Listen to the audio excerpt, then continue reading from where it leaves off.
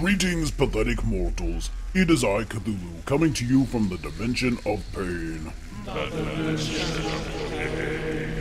I need to have a little chat with all you Americans out there. Some of you have really been making my tentacles twitch lately. I've been watching some of you condemn homosexuality from the beginning of your internet. Now you are all up in arms about the right to be married. Is it really so terrible? Before you answer, shut up and listen to your buddy Cthulhu. The first thing many of you say when you condemn homosexual marriage is that it is wrong in the Bible, specifically Leviticus 20:13. Mm-hmm. if a man also lie with mankind, as he lieth with a woman, both have committed an abomination. They shall surely be put to death. Their blood shall be upon them. Oh my. Interesting. It says nothing about women lying with women. It also says nothing about them getting married. Hmm. Let's see what else Leviticus has to say. Don't wear clothes made of more than one fabric. Uh, so much for the t-shirts for my 2016 presidential campaign. don't cut your hair, nor shave. Uh, don't grow either, I'm aces. Uh, people who have flat noses, or is blind or lame, cannot go to an altar of God. Oh, so much for been in a bar fight Saturday night. wow, that's rough. And my cultists think I'm tough on them. Let's see what Deuteronomy says.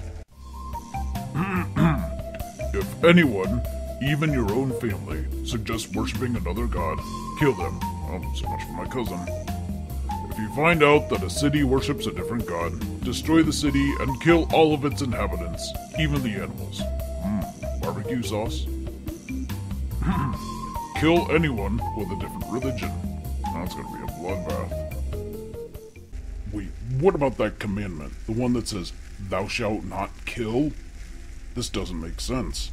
Does your god really let you pick and choose laws to follow? I talked to quite a few gods, and let me assure you, they do not like it when you try to do their job. I also can't understand how you can be Christian and say you hate anyone. That Jesus guy said you should love everyone. How can you hate so much and be Christian? So, the Bible's out of this argument. Speaking of which, I keep hearing a bunch of you say that the USA was founded on Christianity. Did any of you take a history class? Have any of you read your Bill of Rights? The US was founded as a place of many freedoms. Along with that freedom of speech and that right to bear arms, one also has freedom of religion. The state was meant to be separate from any faith so any individual can feel free to believe as they see fit. Ever heard of the separation of church and state? No? Do you even know your own history? Hmm, sad.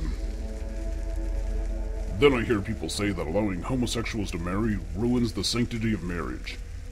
Really?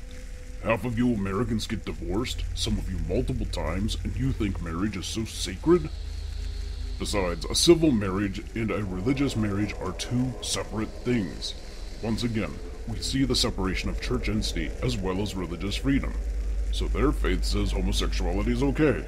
Guess what? You have to deal. They have the same rights you do. Then some of you ask, what next? Have multiple wives? Marrying animals? Well, some of you humans already have multiple spouses. As for animals, if ever they are granted American citizenship, you can bet they'll be allowed to marry, vote, pay taxes, and bitch about human marriage. Honestly, none of this surprises me. America, you are really behind for a first world country. No national health care, loose food quality standards, poor public education. Heck, even your vending machines are crap. Buy a cup of coffee from a vending machine in Germany, and it tastes like ambrosia in a cup. Buy coffee from a vending machine in America, and it tastes like someone managed to burn water. Blech. Even after all this, some of you are going to refuse to listen to old Cthulhu. Some of you are going to stick to your guns and stand against homosexual marriage. Well, tough nuggets for you. The Defense of Marriage Act has been declared unconstitutional. So, what will you do when your country legalizes gay marriage? Move to another country? Most of them have either legalized gay marriage or are headed toward it. Also, considering how many countries dislike Americans, you're running out of options. So just stop it. Let it go. Let them be happy. If your god really has an issue with homosexuality, let your god deal with it when they die. Everyone should stop griping and be happy, because you'll appreciate any happiness you had when the stars are right. On that day, all of your happiness will be nothing but memories.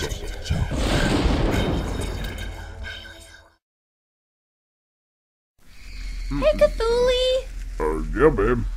I've been reading this Bible you've been carrying around. Yeah, what about it? I don't know about this story. What's wrong? It has more plot holes than Twilight. Uh, yeah. It's kind of like that for most of it. But when you get to the part about the Jesus guy. He's pretty cool. You mean that guy that lives down the street from us? Uh, no, a different Jesus. Oh. I'm kind of hungry. Do we have any Twinkies? Nah, we're fresh out. Wanna go get some? Sure. Alright, come on.